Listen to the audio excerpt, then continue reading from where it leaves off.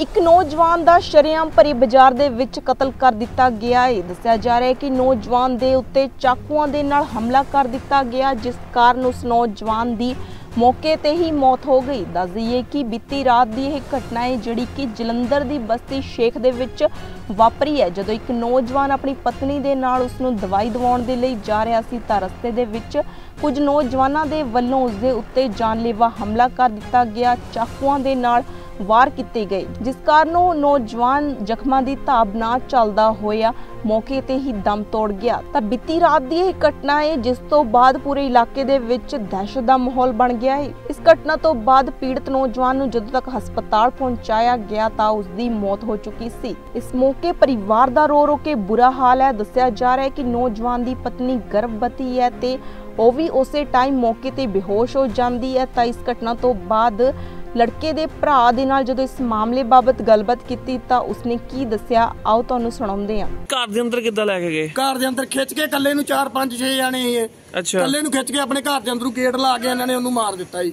ਅੱਛਾ। ਹਾਂਜੀ। ਆਪਾਂ ਉਨੀ ਦੇਰ ਦਸਕਾਰ ਨਹੀਂ ਕਰਨਾ ਜੀ, ਜਿੰਨੀ ਦੇਰ ਤੱਕ ਸਾਡੇ ਭਰਾ ਦੇ ਕਾਤਲ ਨਹੀਂ ਬਰਾਮਦ ਹੁੰਦੇ। ਹਾਂਜੀ ਘਰ ਦੇ ਅੰਦਰ ਮਾਰਿਆ ਜੀ ਇਹਨਾਂ ਨੇ ਖਿੱਚ ਕੇ। ਘਰ ਦੇ ਅੰਦਰ ਤੱਕ ਲਊਆ ਉਹਨਾਂ ਦੇ। ਅੰਦਰ ਜਾ ਕੇ ਦੇਖੋ ਜਿਹਦਾ ਘਰ ਹੈ ਉਹ ਘਰ ਕਿਹਨਾਂ ਦਾ ਘਰ ਕਿਹਨਾਂ ਦਾ ਕਰਨ ਸਿੰਘ ਮੱਲੀ ਦਾ ਘਰ ਹੈ ਜਿਨ੍ਹਾਂ ਦੇ ਘਰ ਦੇ ਅੰਦਰ ਕਤਲ ਹੋਇਆ ਵਾ। ਤੁਹਾਨੂੰ ਮੈਂ ਫੇਕ ਜਿਨ੍ਹਾਂ ਦਾ ਮਰਡਰ ਜਿਨ੍ਹਾਂ ਦਾ ਮਰਡਰ ਕੀਤਾ ਗਿਆ ਉਹਨਾਂ ਦੀ ਵਾਈਫ ਦੇ ਵੀ ਸੱਟਾਂ ਆਈਆਂ। ਉਹਨਾਂ ਦੀ ਵਾਈਫ ਦੇ ਹਜੇ ਆਪਾਂ ਮਤਲਬ ਕਿ ਦੇਖਿਆ ਨਹੀਂਗਾ ਪਰ ਆਪਣਾ ਬ੍ਰਦਰ ਵਾਲੀ ਇੰਨਾ ਕੁ ਜ਼ਿਆਦਾ ਤੇ ਹੋ ਅਪਸੈਟ ਹੋ ਗਈ ਕਿ ਆਪਾਂ ਇਹਨਾਂ ਵੱਲ ਧਿਆਨ ਦਿੱਤਾ। ਵਾਈਫ ਨੂੰ ਵੀ ਉਧਰ ਲੈ ਕੇ ਗਏ ਹੋਏ ਛੋਟੇ ਹਸਪੀਟਲ ਉੱਥੇ ਵੀ ਉਹਨਾਂ ਦਾ ਚੈੱਕਅਪ ਚੱਲਦਾ ਪਿਆ ਵਾ।